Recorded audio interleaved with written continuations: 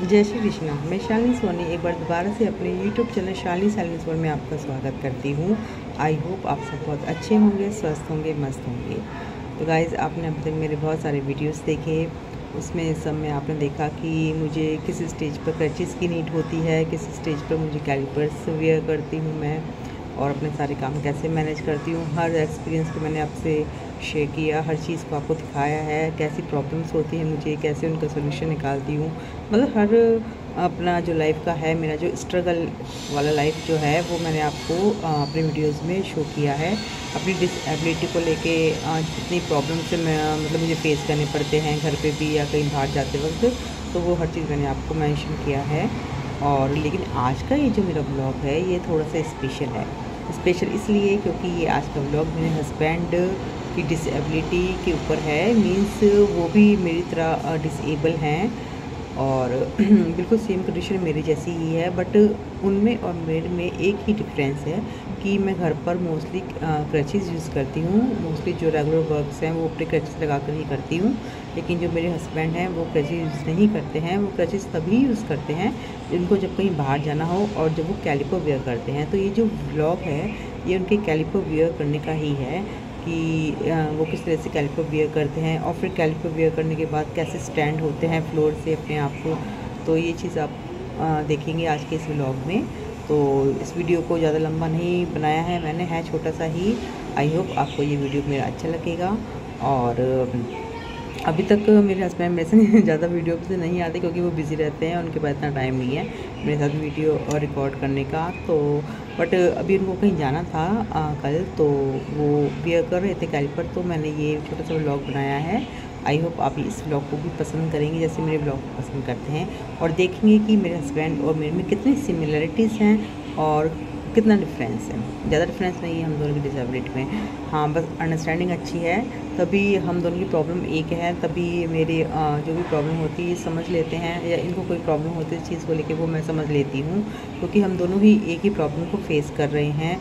काफ़ी स्ट्रगल वाली लाइफ है हमारी काफ़ी जगह मुश्किल भी होती है कहीं बाहर जाने में, या कोई भी कुछ ऐसे काम होते हैं जो नहीं कर सकते हैं। हम दोनों ही मतलब किसी चीज़ को ऐसे उठाना, कोई सामान उठा के इधर से उधर रखना तो उसमें तो हमें नेचुरली बात है कि किसी की हेल्प की ज़रूरत होती है। तो मेरी जॉइंट फैमिली है तो मुझे इस पूरा लव और पूरा सपोर्ट उनका मिल जाता है।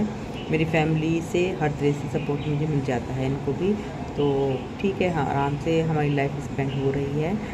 तो स्टार्ट करते हैं। आज का लोग आप देखिए और हाँ इस वीडियो को पूरा देखिएगा आप ज़रूर। और बताइएगा मुझे कमेंट में कि आपको ये ब्लॉग मेरा कैसा लगेगा।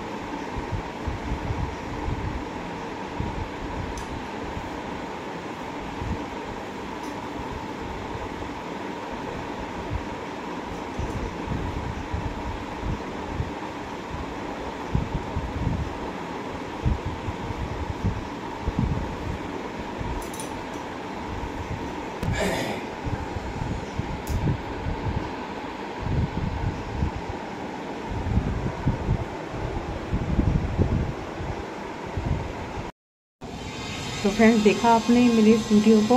मेरे हस्बैंड ने कैसे कैरेक्टर पहने उन्होंने कैसे स्टैंड अप किया उन्होंने कैसे मतलब खुद से आ, सारा मतलब अच्छे से मैनेज किया कैरेक्टर वेयर करने का और स्टैंड करने का। तो कैसा लगा आपको ये व्लॉग मुझे बताइएगा प्लीज़ कमेंट में। मिलते हैं नेक्स्ट व्लॉग में। Bye take care